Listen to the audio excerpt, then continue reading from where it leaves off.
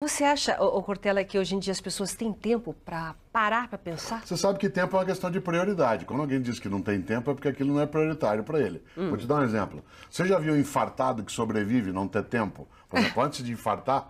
Aquela caminhada ele, na pa- "Isso, pracinha, ele vai ter tempo. Não seja sedentário, não faça isso, não tenho tempo. Infartou, sobreviveu.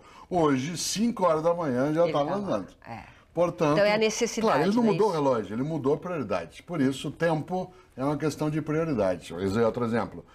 Se eu não tenho tempo para os meus filhos, mas se um deles, por exemplo, cair no mundo da droga, aí não é uma hora por dia que eu vou precisar, ou duas, eu vou precisar de um ano, dez. Mas, portanto, a filosofia nos ajuda também a pensar um pouco quais são nossas prioridades